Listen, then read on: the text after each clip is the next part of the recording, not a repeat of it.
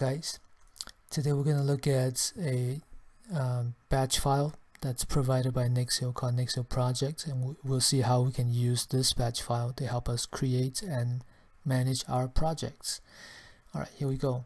So I'm right now uh, console opened into Nexial core slash bin directory right? And within this directory you'll find the Nexial project.cmd file. This is for Windows and we'll look at the Linux one uh, or Linux slash Mac version in a few minutes.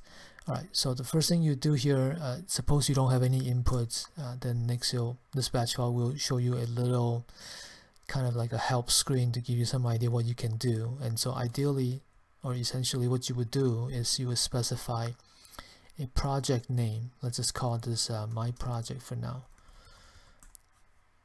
and uh, this pro this project name uh, by uh, the convention here this will be created under your C projects directory. So you'll be created under this directory right? And let's also suppose we put in um, a couple of scripts we want to create as part of this project creation. Now the script names are optional. You can see right here the help out is saying that they are optional um, but it may be of some convenience if you have some idea that you're going to create new projects um, and you know what kind of um, what kind of scripts you might want to have then you can specify in here just to save you some steps. Okay? And so let's go.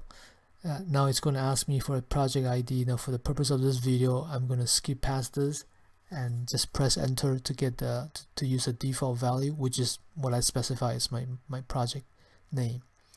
Uh, in a in a different video, we'll cover what this project ID is uh, is meant for. Right. So for now, I'm just going to press enter, and there it is. Project is created. So now, if I go down to uh, C projects, I should find a directory called My Projects, and the structure, uh, which is reflected here as well. Uh, this is created within the uh, using the standard Nexial project structure. So you have your project ID in the dot .meta directory uh, again we'll skip this for now the artifact directory which contain bin uh, data plan and script. The bin directory will have a couple of scripts. Uh, they are kind of like helper scripts to get you to run your uh, your scripts easily. Now you don't have to use them. You could just come to the same directory here and then type in Nexial and so on and so forth. You can still run your project that way but this might be useful right depending on your situation. Uh, because I specify I have specified test1 and test2 so within my script directory I will have test1 and test2 in here as well as in my data directory the same thing. Okay? But you will notice that in the script directory there are also two other files being created here. So these are what we call starter files. They, they can be deleted if you are not wanting to use them. That's not a problem. Just go ahead and delete them um, and uh, wouldn't complain at all right but these are files created just to help you to get things started so that it may be easier rather than you trying to create something from scratch. Um, this my project is just a script file. Uh, it's uh, fairly empty right? It just has like a hello world uh, which you can delete if you want. Uh, the test 1 and test 2 look exactly the same as well. They look same way right? The my project macro file so again my project is my project name it's also a kind of a, a, a, very kind of vanilla plain macro file. You can delete this and and start creating a macro from scratch right? So there's no need to maintain these file these files as them they are. You can always change them up okay? And then the uh, plan directory would just have an empty plan file. Let's suppose that at some point later uh, you decided that you need to add a new some new scripts.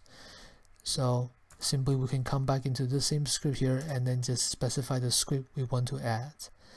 Now if you recall from this help screen optionally you can also specify a new macro that you want to create if you need that right? So you, you would use the macro colon uh, prefix to do to do that. So macro colon and let's say we call this something like commons uh, because we were trying to create a bunch of common macro, right? So that's how you do it.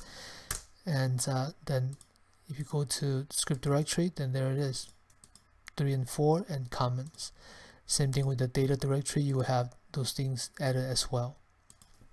okay so hopefully that's pretty straightforward now once in a while you might find a need to create a project structure that um, that are combined into a larger structure right? Sometimes you might find that useful.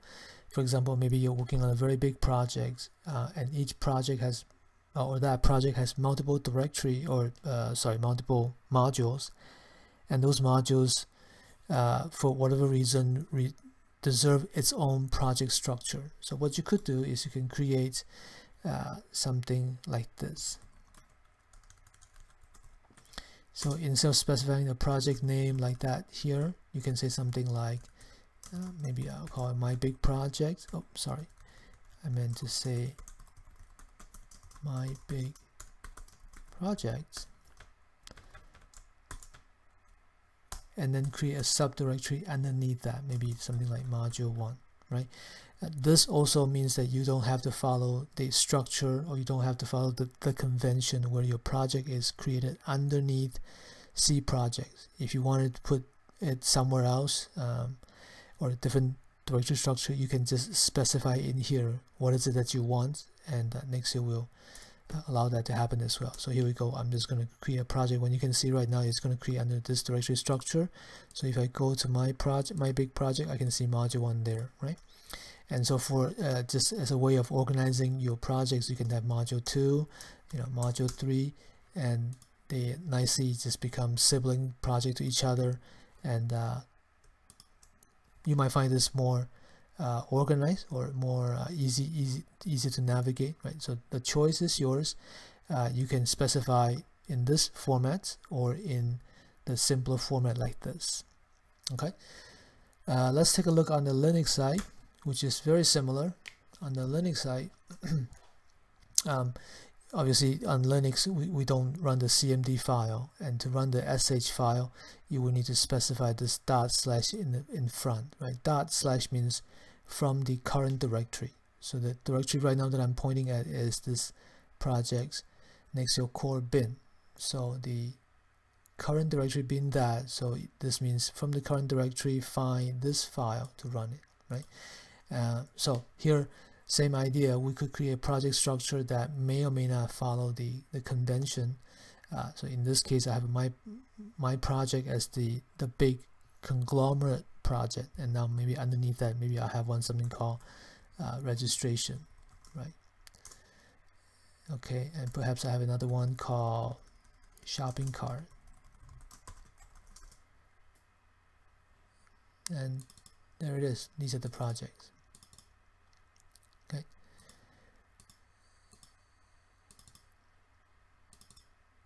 Now just a little bit of information of what's happening under the hood so these directory these files that, that are being created actually they came from Nexial core right? So if you go into Nexial core and look under the template directories those are the files that Nexial is copying into the project that that you specify to create. So technically speaking you could do this yourself but you would need to copy this to the right location and rename them right and all that. So just as a convenience use the script to help you get the same job done with less time right?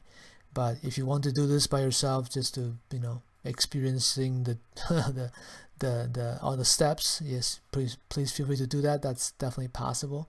Uh, but I think using this script would save you a lot more time. Alright I hope this has been helpful and uh, give you some insight as to how you can uh, expedite your uh, project creations and maintenance. Until next time